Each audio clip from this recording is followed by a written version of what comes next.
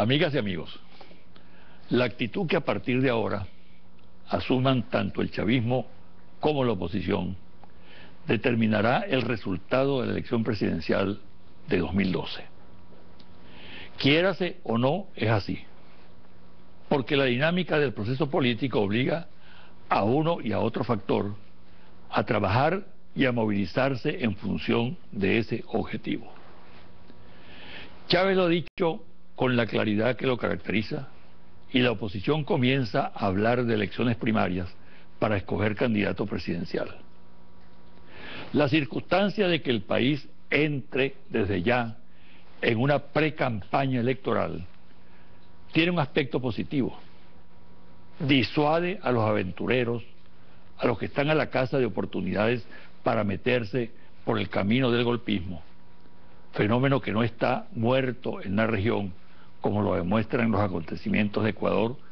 En otras palabras, Venezuela gana, de acuerdo con mi opinión, estabilidad democrática al proyectar la acción política hacia la meta electoral del 2012.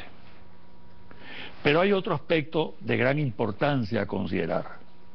El país necesita sosiego y suficientes garantías para la actividad creadora y el trabajo.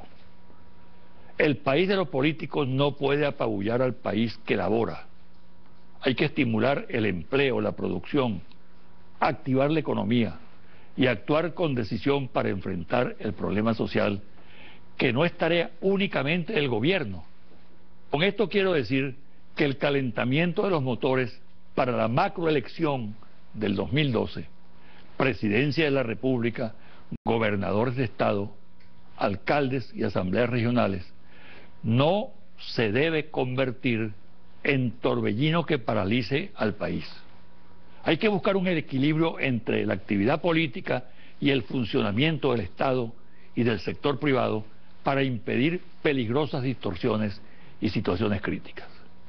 Lograr ese objetivo es tarea de todos gobierno y oposición tienen que hacer cuanto esté en sus manos para que la precampaña que prácticamente ya comenzó no colme la paciencia del venezolano de a pie, no perturbe el funcionamiento de la economía, ni tense aún más las relaciones de los venezolanos ubicados en diferentes corrientes políticas.